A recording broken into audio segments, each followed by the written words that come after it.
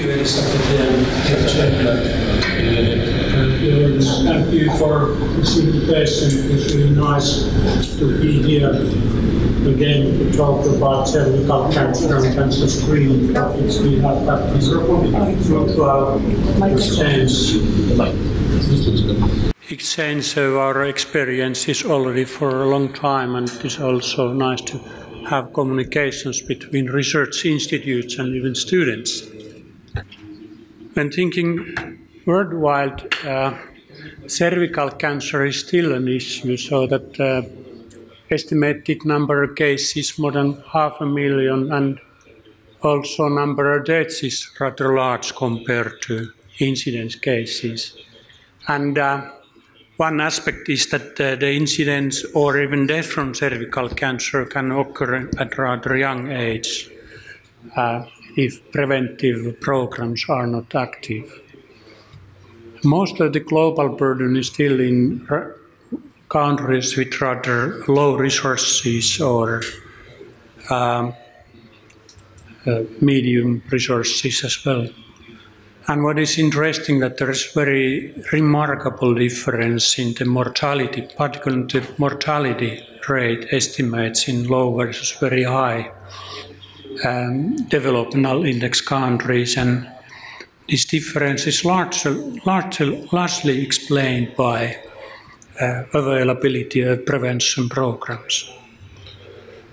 Um, and looking to predictions, uh, if uh, no further prevention could be implemented so that there is a background incidence as well as that could be growing and also population is aging so meaning that in global terms the disease burden would increase these are estimates for Europe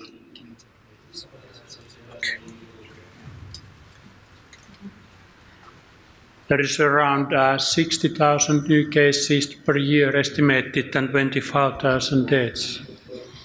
Historically, um, there have been uh, quite similar risks in the different parts of Europe, but the prevention programs in western, southern, and northern uh, regions have already decreased the incidence remarkably whereas mainly in Central and Eastern Europe there is not yet similar uh, decrease uh, available. When thinking optimal services by current services, uh, I think that the mortalities could still be remarkably decreased, maybe around half of the level that are nowadays, and uh, seen even in these well-developed countries and even much more in these countries with less, less active programs.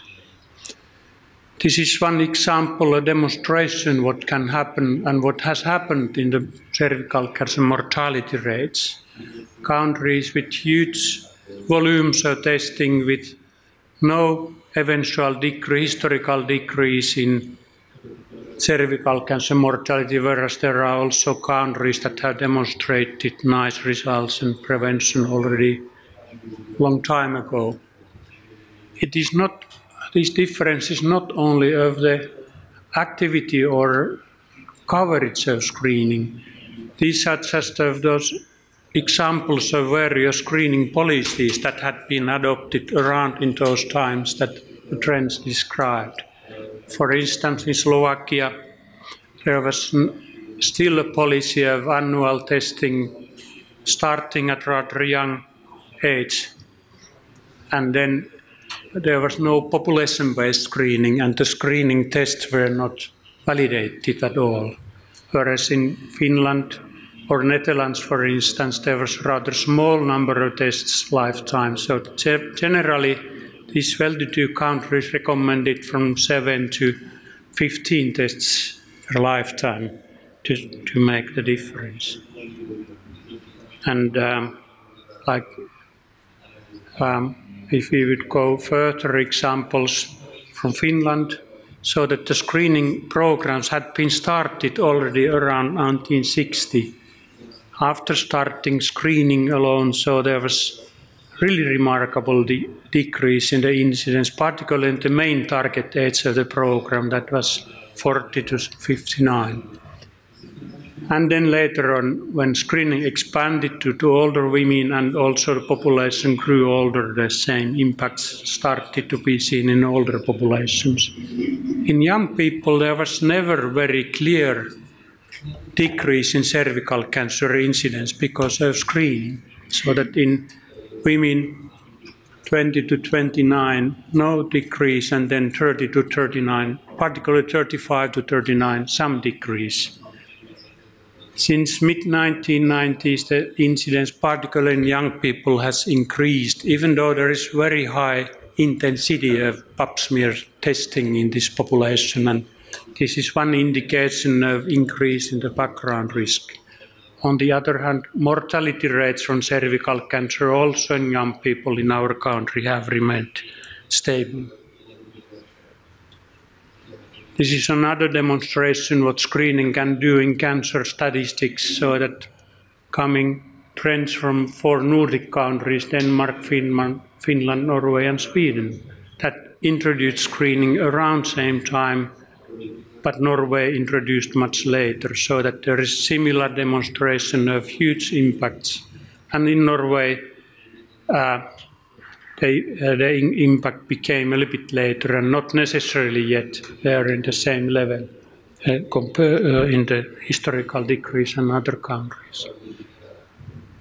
So what are then the factors that can affect so tremendously on cervical cancer burden? I think that when looking to Nordic countries, it is the message that even the well-organized screening and systematic treatment of precancers and cancers and screening, particularly with the validated methods and pretty good quality, it, uh, it has affected and it can affect. So that uh, most of the historical uh, decrease has become from cytology screening with Papanicolaou staining methods, standard methods.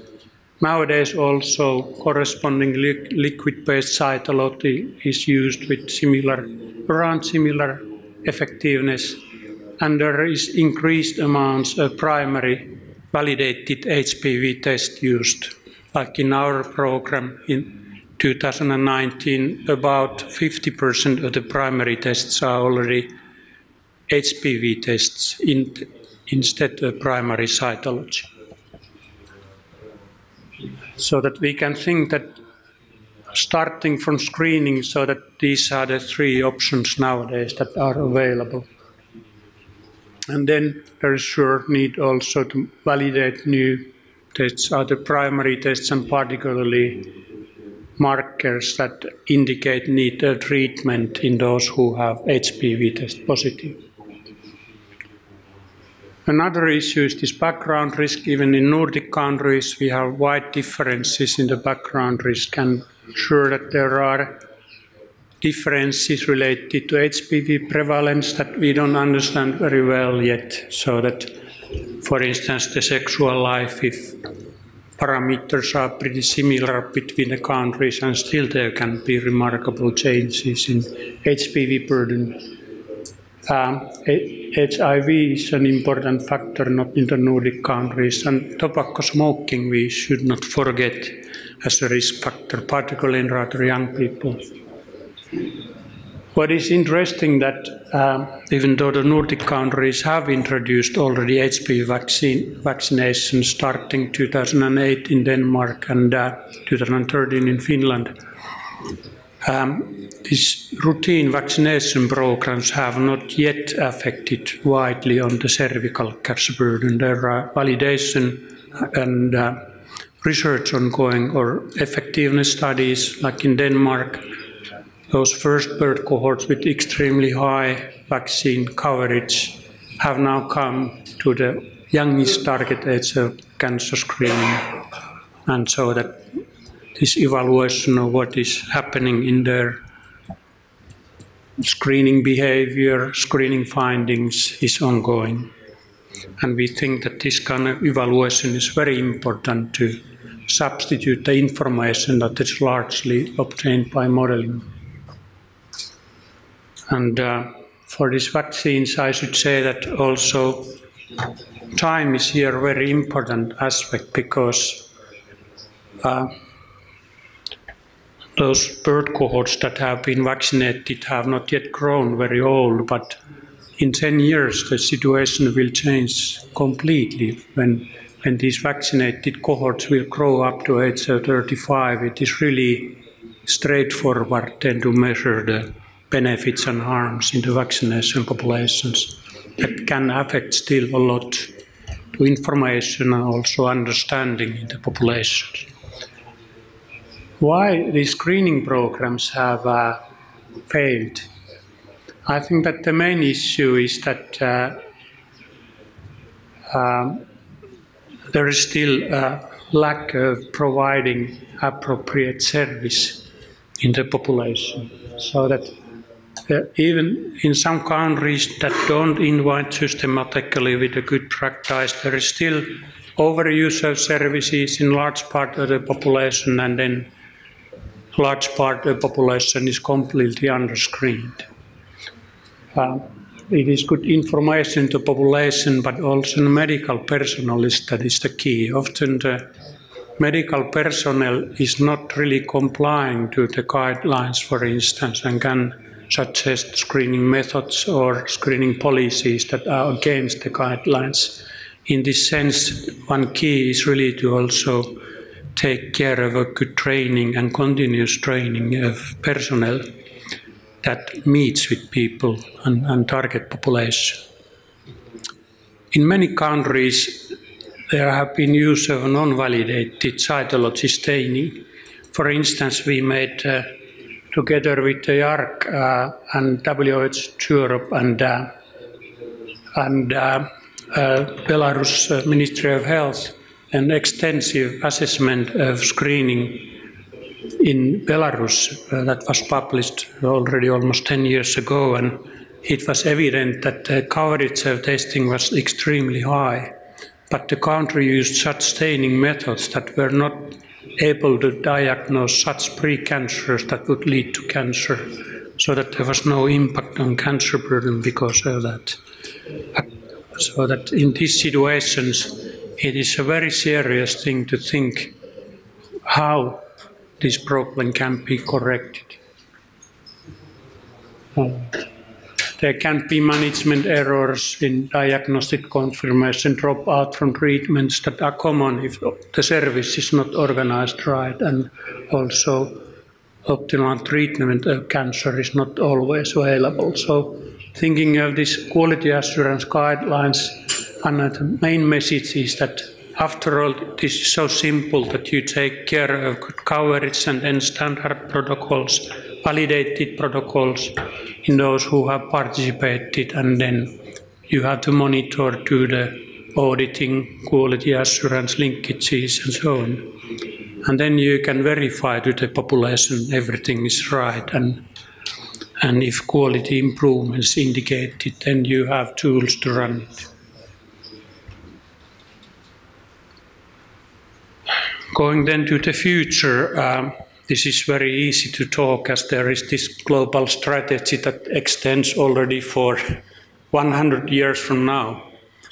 Uh, and uh, targeting very high coverage of vaccines in young girls, pretty high coverage of screening with in the fully vaccinated cohorts.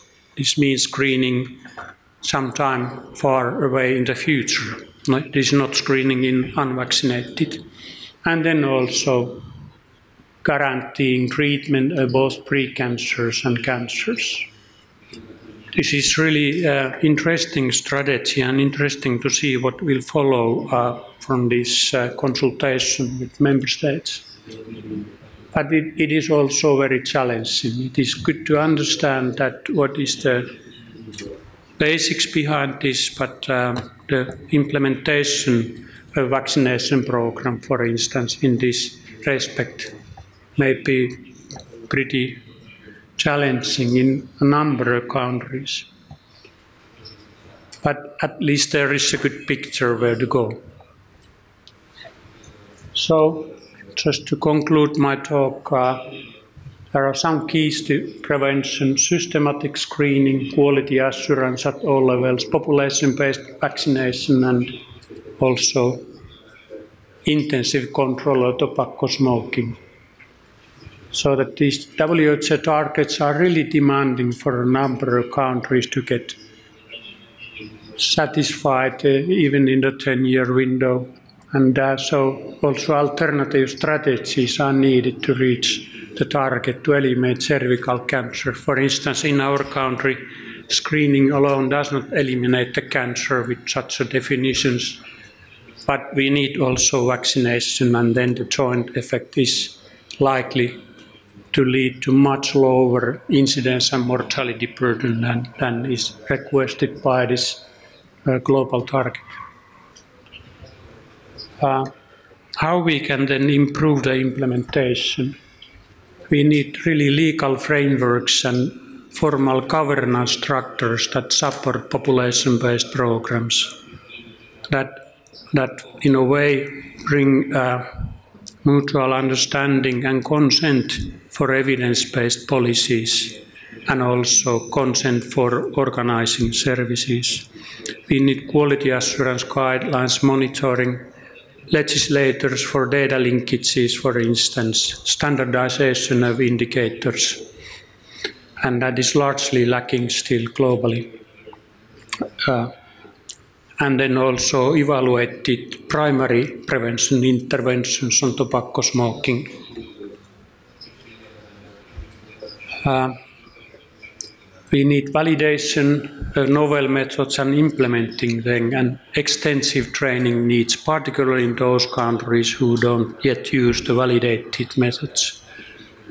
More focus on health inequalities, and uh, so uh, somehow we should plan a completely new set of implementation research. So it is not necessarily a question of medical uh, technologies, but how we adopt the technologies within populations. That is the key in the implementation research, and this could be also one strategy to close the gap between recommendations and actual policies.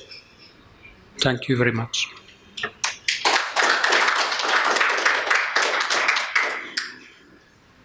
Thank you, Ahti, for keeping the time nicely. So this allows us a lot of discussion. We have five minutes, in fact, for, for discussion for this presentation. Are there any first comments from the floor? Thank you for a very nice presentation, very useful presentation, I would say. You demonstrated uh, in uh, one of your slides increase in incidence in certain age group. I haven't seen it. Uh, how do you explain it? I mean, uh, uh, Finland has achieved with screening the most success. I think probably Finland is the most successful country which achieved a decrease in incidence and mortality from cervical cancer. How do you explain this uh, increase which you have uh, demonstrated? Thank you. Yes, in Finland there is increase in incidence uh, starting from late 1990s for instance, in the age group 20 to 29, where you have never seen screening impact. So it is likely that this increase in the incidence is because of increased background risk, so that the prevalence of um, oncogenic HPV types has increased over time. Then also tobacco smoking in young women has increased, so that this, this largely explains this these incidents. And in, then the problem is that in young women, if the background risk increases, then screening does not take out this increase in the risk. So our strategy is therefore not to increase any more intensity of screening that is already very high in, in these younger age groups contracting cancer. But we have to wait and analyze carefully what happens when the vaccinated birth cohorts will grow up to cancer age. Thank you very much. Thank you. Other que- Rolando, please. Yes, Microphone, Rolando. No, just if, may, if maybe you, sorry, you could make a comment about the status of in, uh, the use of HPV testing in Finland for, for screening. Yeah. What's the progress? Yeah, we have um, such a national uh, guidelines so that it is either primary cytology or primary HPV test are both acceptable methods and then regions in principle decide. So that about uh, half of the regions are nowadays in primary HPV testing based on the European protocols are based on the European guidelines published in 2015 and about another half is in still primary cytology. Um, in our country, the impact from primary cytology is extremely good, so that it is better than in most countries, and there is the reason that historically it just occurred that Finnish cytopathologists and gynecologists, they were trained by Professor Papanikolaou himself in States very carefully, long period of time, and it happened that the criteria and working models with multidisciplinary teams were there from the beginning. And that's the reason that we don't expect similar uh, patterns after introduction of primary screening than in most other countries, so that in our country, the burden of CIN lesions is very low compared to decrease in the incidence of cancer, so that we, it is possible that with primary HPV testing, the burden of CIN lesions will increase and, and the impact that the primary HPV testing could still improve the cervical cancer prevention, the impact is rather small that is there available. It is still very useful to study and evaluate carefully, and, and uh, I think that in the near future, the, also the rest of the municipalities will still go to primary HPV testing. But where you do HPV testing, is it there is a triage with cytology, or how does it manage? Triage with cytology, and now we uh, we would like to launch also studies on assessing other markers. For instance, dual staining. I think it is very easy to validate because the expectation of uh, sensitivity is pretty good compared with primary HPV test, so that you could do possibly validation studies already using cross-sectional CIN2 plus. Uh, but for many other markers, the problem with the validation of triage markers is that you need really long-term follow-up to see what happens then in your main outcomes of the program. Program that you, you cannot expect uh, uh, uh complete, uh, completely good results in the triage phase for instance, HPV typing, the information on typing any types is not completely matching with the progression probabilities of the diseases or diagnostic aspects that we have in histopathology and, and, uh, and this validation of the triage markers is complicated. Thank you very much, Ahti, for